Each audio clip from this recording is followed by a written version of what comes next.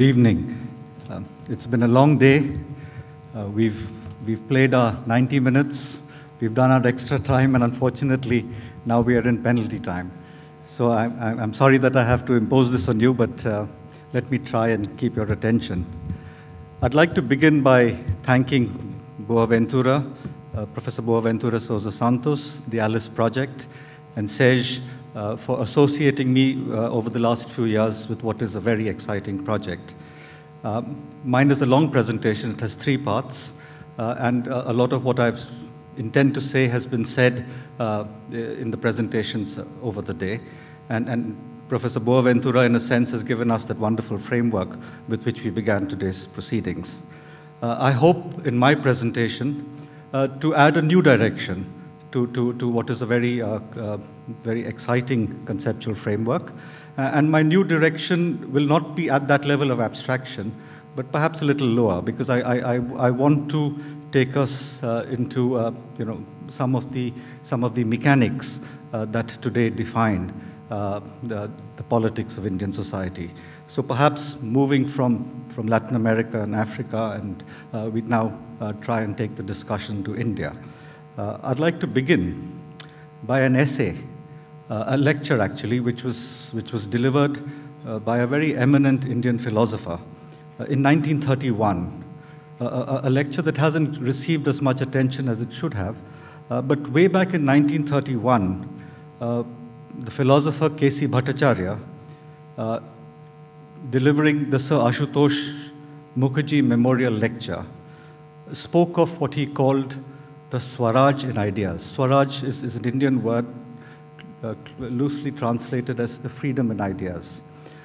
And in that essay, uh, he lamented that the colonial encounter between India and Europe produced two very disturbing consequences. This is 1931.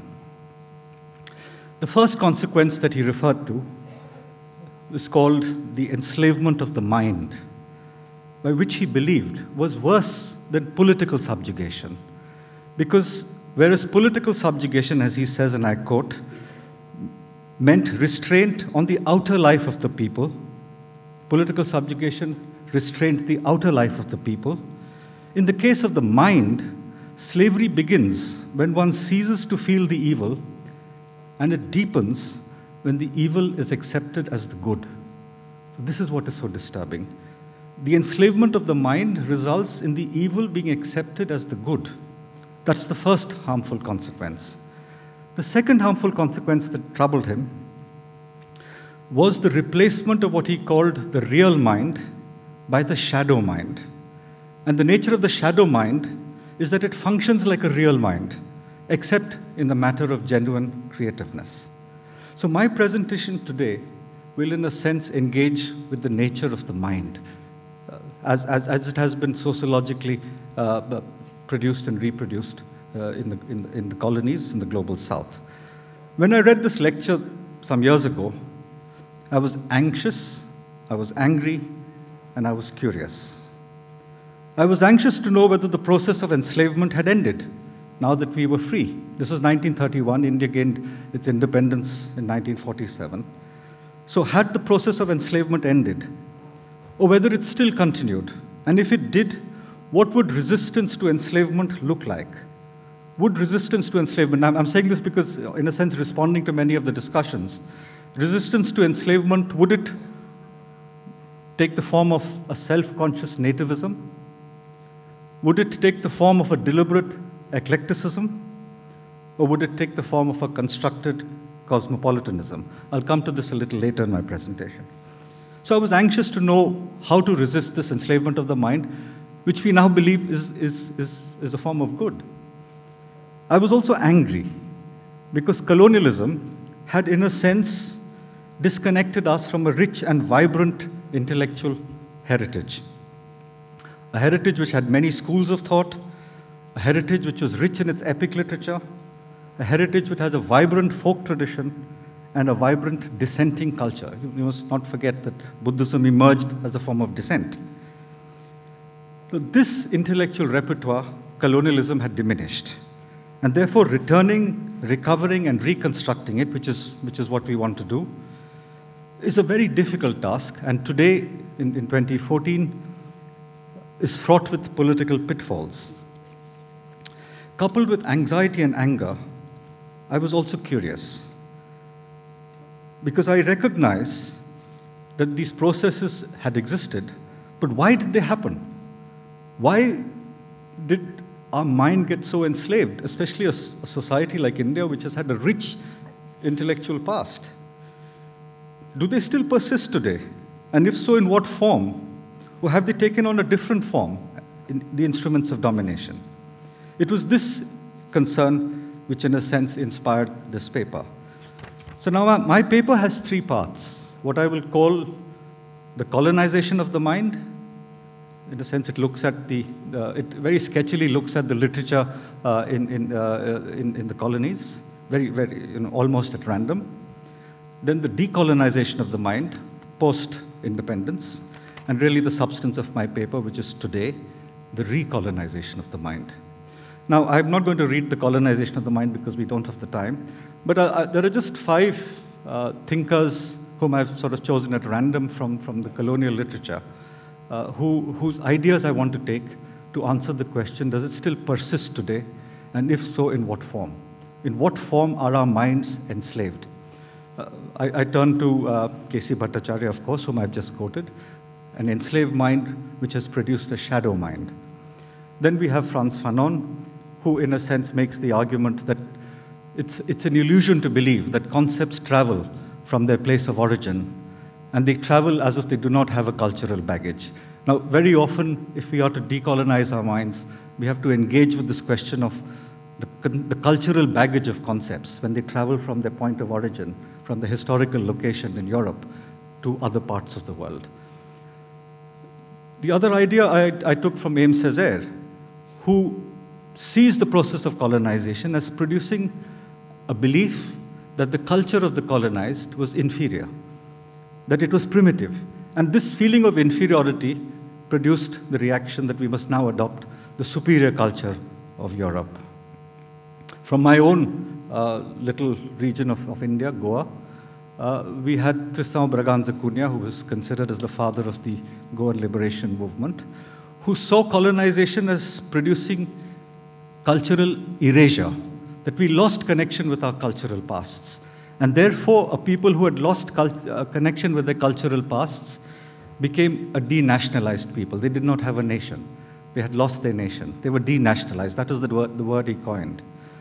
Uh, from Kenya, Ngugi actually writes about a literature. He, he, has, he has this very interesting story of, um, you know, uh, generations of, of, of uh, Kenyan people, Kenyan intellectuals who go through a course in English literature Milton, Shakespeare, Keats, uh, and, and uh, Austen.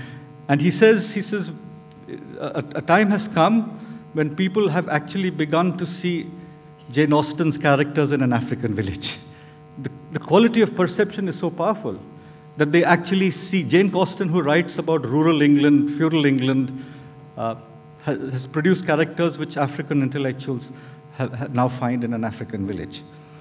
So, and then of course the tragic uh, story of uh, Memmi, Albert Memmi, who, who uh, studies philosophy, rejects his Tunisian past, uh, uh, tries to become European, uh, invests in philosophy, wins every prize that there is to win, and when the Nazis come, philosophy betrays him. So this is, this is what colonialism did to the native mind. Uh, and and uh, it, it uh, made one believe that one's culture was inferior, that abandoning was proper, that we must now adopt the cultural practices of Europe, that if one wanted to be respectable, this was the way to go. Uh, to put it metaphorically, uh, we had to wear a top hat and a tailcoat if he wanted to go to the races. So complete was the indoctrination that we now began to see English characters in an African village. So, from identifying these four or five features of the colonial impact, I now move to the second part of my paper, which is the decolonization. If this is what colonialism did to our mind, uh, how do we decolonize this mind? Uh, I think in India we would find three strategies of decolonization. Uh, the first is, is a comprehensive strategy of, pr of producing an alternative educational structure. Uh, Gandhi and, and, and Rabindranath Tagore tried to do that. Tagore set up an alternative university, uh, Vishwabharati, which has now been in existence for, for many years. Uh, and, and, you know, Amartya Sen, uh, Satyajit Ray, a great filmmaker, Mahashweta Devi, a great writer, are all products of Vishwabharati. But Vishwabharati today is in a crisis. I say this very deliberately because we are trying to think of an alternative university. And here was an, here's been an experiment of an alternative university, given university status in 1951. And, and, and uh, it's, I mean, those who have studied there in its glorious years talk of a wonderful uh, experience of, of, uh, of, uh, of, education which was rooted in, in, in, in uh, agrarian society, which uh, was experimental, where classes were held under the tree. Uh, but today the university is in a crisis. So we, we have to understand why. That was one strategy. The dominant strategy of decolonization uh, was uh, actually with incremental changes. The, this, the, the government of India uh, set up many commissions, uh, and, and uh, these commissions were not very, I mean, they thought that if we just change a little bit, we, ch we change our textbooks, we make it much more nationalist, we'll be able to produce a nationalist curricula. Uh, but we adopted the same northern templates, and those templates today have made us ripe for the recolonization of the mind. The third cluster, which hasn't had much, much uh, purchase in India, uh, was uh, to, uh, in a sense, reject the European uh, completely and produce an alternative humanities and social science uh, project. Uh, but this hasn't been very successful. So uh, the second part of my paper, which I won't read, uh, is really looking at the fact that the decolonization process in India has been very feeble. So a lot of what colonialism did still persists, still continues. We are still fighting the battle like, like, like you are in Latin America. We are still fighting the battle of the enslavement of the mind. Uh, we, we, we, uh, uh, and this enslavement has been so subtle and so devious that we don't even recognize it. Uh, uh, and it, not only has it been so subtle and so devious, it is, uh, it is, um, it is so comprehensive. Now, I have, I have these two sections, the, the colonization of the mind and the decolonization of the mind, were really a prelude to the substance of what I want to say today, and I'll, I'll try and be brief. Uh, it's the recolonization of the mind, and that's what I would, would like to see as you know, adding a little bit to the framework that Boaventura uh, presented in the morning. Uh, while these old battles of the mind are being waged, a new front uh, has opened up in recent years. If the earlier battles of the mind were about an inferior culture and civilization uh, which the colonial subject had to reject, the new battle of the mind is about inferior development strategies that the new nations have selected. If the earlier relationship of domination was to establish the superiority of colonialism, the new relationship is to establish the superiority of the ways of global capital. In the present globalized world, and I really think we need to map this sociologically and in terms of political economy. In the present globalized world, the interests of global capital enter and take over the production of knowledge. They control our perception and they control the direction of policy making uh, in the public sphere. And I'm going to show you how this happens.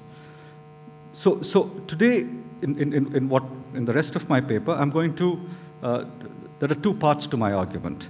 The first is to, to show how global capital establishes the inferiority of alternative ways, the, the, the, ways that we are struggling to establish. And the second is how global capital takes over our public mind, takes over the making of public spaces. And I'm going to do this with three illustrations, three stories which I've just picked up very recently. Uh, the first story uh, is uh, an article which was published by the director of the Indian Institute of Technology in Chennai. Now, as I, those of you who know a little bit of, of India know that the Indian Institutes of Technology are the most prestigious knowledge producing institutions in India. If you can get into the Indian Institutes of Technology, as they say, your life is made. Uh, hundreds of thousands of students spend years preparing for it, from class 8 to class 12, they're only preparing for the entrance exam. Uh, the director of the Indian Institute of Technology, Madras, in, on the 24th of June uh, in, uh, in, in the Indian Express, wrote an article titled Left Out of the Rankings, in which he challenged the international. Uh, now, I'm, I'm going to be presenting to you the ways in which global capital dominates our mind. Okay? The first instance is it dominates our minds by giving rankings to, to universities across the world. So he challenged the international methodology used to rank universities. This has not, never been done. We accept that methodology. His argument was that certain parameters are included in the methodology, while other param parameters which we consider valuable for our national development are excluded. How were these parameters chosen? How does the ranking methodology choose its parameters? Who decides this? According to which set of guidelines? This is very opaque we, we really do not know how a university is ranked. I mean, there are, you know, citation index and, and, and how many professors are getting how much money, etc. But, for example, uh, in the Indian case, uh, the entrance exam to the IITs is an extremely competitive exam. And uh, if to get into an Indian Institute of Technology, you don't need family wealth and you don't need social power, which are elements that are required to get into the Ivy League, uh, who, who, rank among the top 10 universities in the ranking system. Because you may get a very high SAT score uh, in, in, in, the American system, but you also, you, you, also need to have money, and you also need to have very good references. All three count in, the get, in, in getting into an Ivy League university. So, is an Indian university superior? because it only goes by the performance in an exam. It doesn't matter who you are. You may be the child of the prime minister, you will not get in if you fail badly in the, in the entrance exam. Whereas, uh, you know, the president of the United States can get into an Ivy League, child can get into an Ivy League university. But this doesn't enter your ranking. Uh, if you actually begin to map this data set, you will, you know, uh, since there are many young people here, if you begin to map this data set, you will see that the matrix for admissions is made up of three components. SAT scores, available finance, that's why most American students exit these universities with huge debt, uh, you know, $100,000, $200,000, and uh, uh, networks. If you, if, you, if you go to the right schools, uh, the chances are you'll get into the right universities. This is also true of Oxbridge. Now, another aspect which doesn't get into the rankings is the debate that is taking place in the global south, South Africa, India, Brazil, of education as a public good. This is a very important debate, that it is, it is the duty of the state to fund higher education. But does this get into the rankings? No. In India, to get into a university, there are people who come from disadvantaged sections are given certain preferences. We have a quota system. And, and that quota system has transformed our education, the classroom, the curricula, the, the university structure. Does this get into the ranking methodology? No. So, first case of how the ranking methodology dominates. Every policy planner in India is today saying, why don't Indian universities feature in the rankings? Indian universities come 100, 150. They don't come in on the top 50. If they if they make it to the first 100, there's a lot of celebration. The newspapers show it on you know, headlines, and it's a big event. But we need to engage with, with, with the matrix. We need to engage with the values that underlie uh, such, such uh, domination of our thinking. Let's take the second case. Now, this is, the more, this is more pernicious. The second case of how global capital enters our thinking is the global consultancy firms. You know, in the whole discussion today, the global consultancy firms have not entered our discussion. The global consultancy firms dominate our policy making. You know, I, I, would, I would welcome if there are people from all over the world, please begin to map this exercise. For, for example, in India, a major consultancy group, one of the big five, um, had a presence in India's Planning Commission, which is a major uh, institution of, of developmental planning, and uh, a presence in the Reserve Bank of India. Not only that, uh, you begin to see members of the Indian civil service, the, the senior civil service, retired, taking early retirement, and joining the consultancy firms.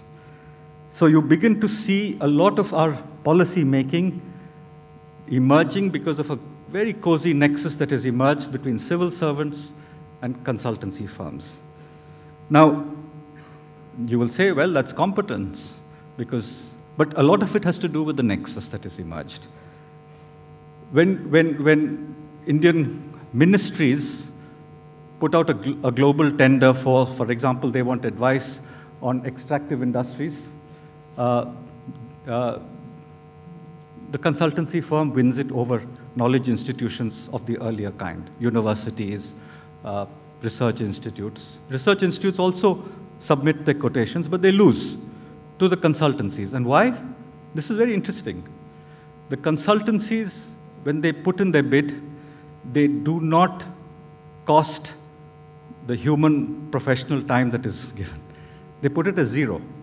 So the, the most highly paid, Uh, uh, the most highly paid people in the world today are not charged. Their time is not charged for the consultancy. They actually offer it free so that they win the, they win the tender and get access to all the information of the ministry, all the, all the information that. So, so you know, when, when your extractive industries are handed over to so-and-so corporation, the corporation is paying for the time because the consultancy doesn't charge for it, but charges the corporation very high rates, $200,000 per, per day or whatever it is. But the government doesn't pay. So they win it because they're the lowest tender these are little strategies that you, so far the evidence is only anecdotal. It's not evidence that, you know, based on some elaborate research. But it's for a community like this that needs to start documenting this in different regions of the world.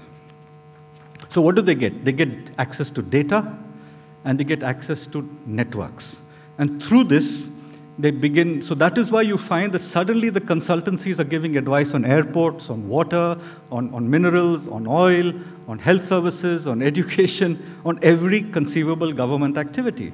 And it's this, if you again map it, you will see the five or six big global consultancies which are doing this. Not only that, they also then begin to run seminars, write policy reports, produce analytical templates, foreign study tours. Uh, they begin create a set of activities by which our policymakers begin to see the world. I mean, I have sat on some committees, Ministry of Culture, and Ministry of Culture wants to know how to document India's languages. So the commit, suddenly, from the, from the government side, the, the, the, the, the government officials have said, why don't we get so-and-so consultancy to tell us how to do this? For culture, for, for, for India's languages. So I, I, of course, threw a fit and I said, what? No, no, they will give us the template. Once they give us the template, we will, of course, take it over. But through this, you get proximity to government. So they begin to dominate the way we see things, our set of beliefs, our, our understanding of how to grow our economy, of how to divide the benefits of that economy. And this has been happening very systematically and very, very surreptitiously over the last 20 years. The consultancy firm is what I call the Trojan horse of global capital. They have colonized our policy space.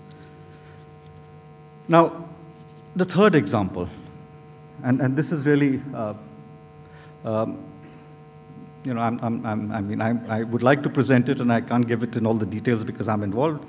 But the, uh, we have in India, we have training academies for civil servants, for high civil servants. So there's one for the police, there's one for the income tax, there's one for the administrative service. I'm, I'm on the committee that is supposed to design the training program for the, the, administ the senior administrators.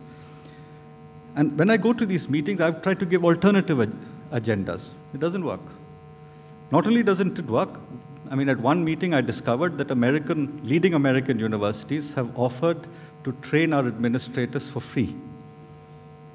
They, they have given high professional time free gratis, two days gratis. Uh, I have tried to send the administrators to Brazil to study Brazil or to study Indonesia, uh, but they go, to, they go to New York and they go to London.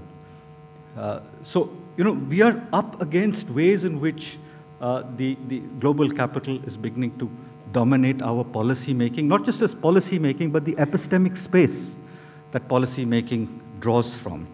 Now, these may seem as isolated events. You may treat them as just anecdotal evidence. It is anecdotal because there's been no systematic study. So, so treat it as a set of propositions that have to be investigated.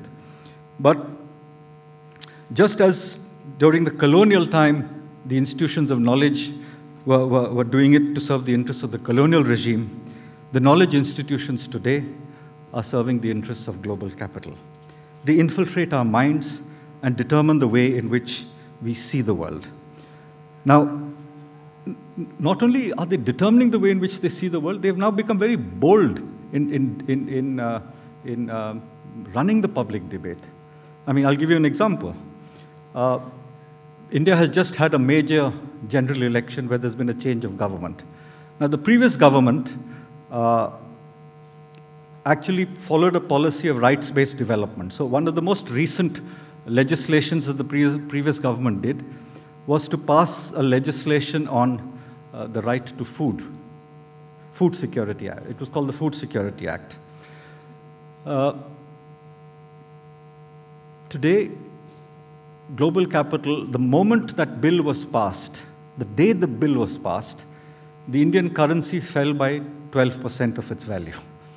Because global capital said this is too much of a burden for, for the public finance. Public finances could not bear the burden of meeting the hunger requirements of, of uh, a few hundred million people. Global capital is not interested in such altruistic measures. In fact, a, a friend of mine told me he, he, was mapping the debate in the newspapers, and he said, you know, over the last one year in India, there has been a discussion which says that um, uh, in India there is a policy paralysis. These are the key words, policy paralysis. And, and uh, you know, government is not taking a decision, it has, doesn't have the courage, there's a policy paralysis. So he mapped it in the newspapers. Policy, and every time he found the word policy paralysis, it, it referred to policies relating to capital, relating to corporate interests. There was no discussion of policy paralysis on hunger, on, on education, on, on medical benefits. On that, there was no policy paralysis. There's policy paralysis on opening up the economy to foreign direct investment. There was policy paralysis on, pol on policies for extractive industries. So you see how the language is being dominated. You know, what may seem to be very innocent is very pernicious because our language has been taken over, the ways of, and today people are arguing saying, reverse the, the, the Food Security Act. So hundreds of Indians, India has a serious problem of malnutrition and a serious problem of hunger. Hundreds of millions of people go to bed every day hungry. But this is not part of our public debate. Our public debate is how to grow the economy through foreign direct investment. Now, who are these institutions that are producing this knowledge that is dominating our minds? You, I mean, so far I've been making a, a general argument, and you will ask me, who are these institutions? I mean, it's fine, okay, this is a general argument, but name, name the enemy. Name, name the enemy. They are the investment banks. We, we really haven't begun to map what the investment banks are doing to our countries. They are the large global consultancies. They are the multilateral financial institutions. And they are the credit rating agencies. I mean, we really need to look at the impact of the credit rating agencies. Uh, I mean, uh, you know, We've been talking in general terms and, somewhat philosophical terms and necessary to, to, to produce uh, an epistemology of the South. But we need to understand what a, a rating agency can do to an economy. I mean, I was talking to serious senior people in the finance ministry, and they have sleepless nights. If India's rating drops to junk, millions of dollars will leave the economy. Because global capital has told its investor, it, the, the managers who manage their investment, that if the rating drops by 2%, you, can, you, you have to take your money out of the economy. And you take your money out of the economy and the whole public finance system goes into a crisis. Now, this is a big economy like India.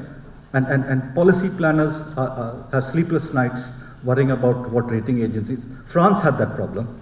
I mean, you know, France had the problem when uh, they, they, they, recently had to, uh, the rating agencies threatened to, to, to uh, reduce France from a AAA rating to a, to a double A rating. So, you know, we need to know.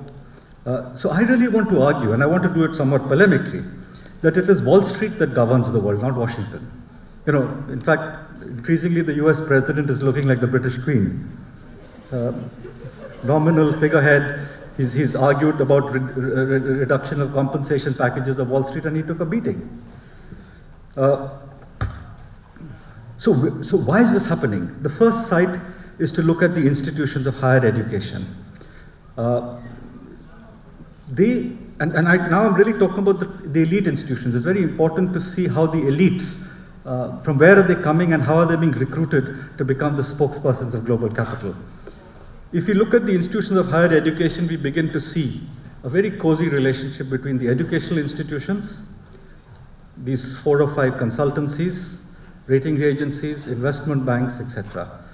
And we begin to see the products of these elite institutions, yeah, the products of these elite institutions being recruited by these uh, uh, institutions of knowledge. And that's beginning to happen in India as well.